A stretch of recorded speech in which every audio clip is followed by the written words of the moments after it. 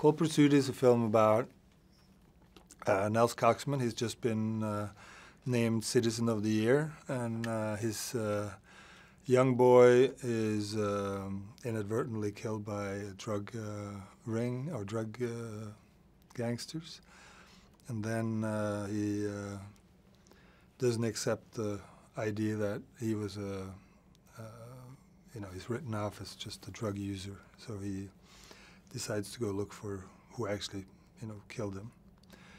Uh, it's a story about, you know, he's a snowplow plow driver. He certainly is uh, not accustomed to criminal life or violence prior to this. So he's an amateur that ventures into a deeply criminal and, uh, and dangerous world as well.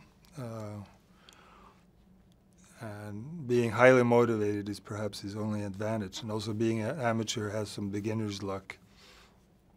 Um, but at some point he, uh, you know, he, he runs out of options and people start to suss out what uh, is actually happening. And he creates a lot of uh, mayhem because of what is, you know, it's like he's set this huge uh, destruction in motion.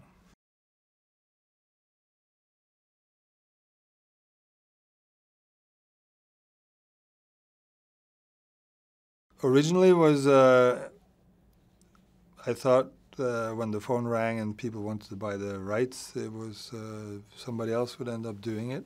Um, it was Michael Shamberg, uh, the producer of this film, that asked me to do it. Um, and the idea of having Liam do it was very attractive. I think uh, he's a wonderful actor. I've been a huge fan since uh, first time I saw him.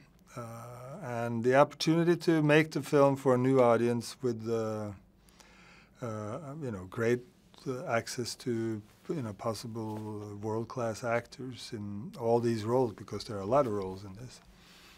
That in itself was really quite tempting.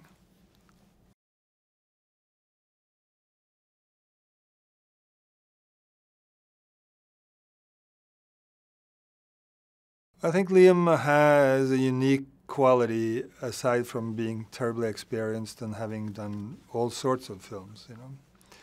Is that he's not afraid to challenge himself, he's not afraid to try new things. Uh, I think he wanted to do something other than just straight action, and this certainly offers that.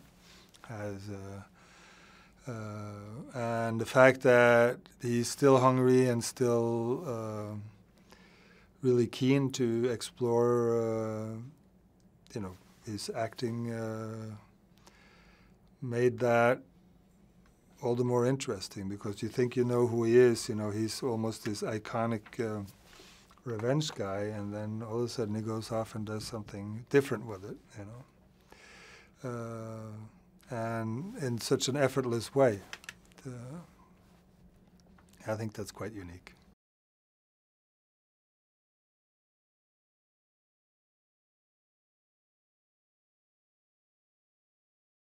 Tom Jackson just has a very imposing and uh, uh, you know, you know, he's an aura about him when he walks into a room. he just uh, he's he's you know physically a big man, but also his his presence is very uh, impressive in a way. At the same time, he's a very kind-hearted and uh, uh, you know, he's not. He, he doesn't uh, talk a lot necessarily. He's he's very kind and, and, and quiet guy. And I think because he was supposed to be the leader of a group that he quite obviously felt comfortable with and also was not afraid to um, allow to be individuals, you know. The, uh, that, requires a certain kind of self-confidence, which he has. He has a quiet self-confidence about him. As opposed to Viking, who really is somebody who's uh, a narcissistic, uh, preoccupied with everything uh, from his own dialogue to his own clothing. And as a result, he gets all these uh, yes men, um, people who are terrified to show their own individuality. that requires to be playful and uh, and uh, and have access to that kind of madness that Viking has. It's not a lot of actors who who are able to, to pull that off. And we did try, you know, looked in different uh, avenues. And, and when I met uh, Tom Bateman, I just knew that he was the right guy. I met him in London, and yeah, he has a charm. Uh, but at the same time, he's uh, perfectly able to be that killer, you know.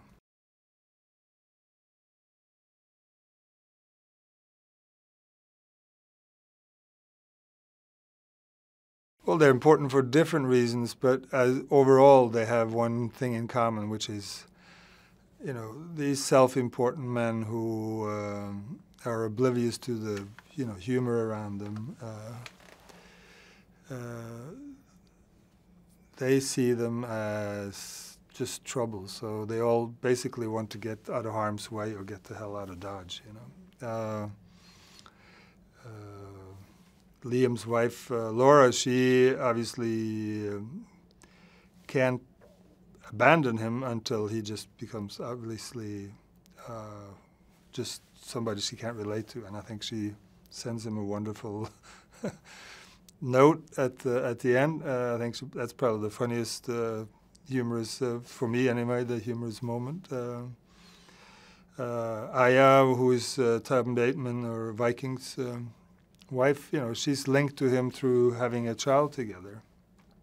Uh, she's doing everything she can to have him ex being exposed through his own action as the terrible father that he is. So she keeps constantly, you know, nudging and hoping to, you know, get him to trip up and eventually make that big mistake so she can grasp him from him. Uh,